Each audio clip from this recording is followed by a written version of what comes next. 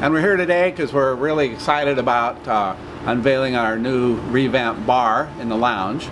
And we've our nightclub is got so um, we got pretty busy on Thursdays and Saturdays, as some of you know, and we wanted to make sure that we could maybe step up the the speed of our service, uh, the drink service, and also the looks. Uh, it's been 20 years since this part of the building opened, and thought it was about time for a revamp.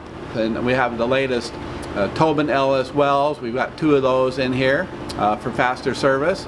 We moved our beer taps up right by where the bartenders are and revamped the cooling system so we have the coldest beer. I think we used to have the warmest beer in the Tri-Cities about eight, nine years ago. Now I believe we have the coolest beer in the Tri-Cities. So if you haven't been here to Jokers in some time, uh, come down and check us out. I think you'll like the improvements we've made.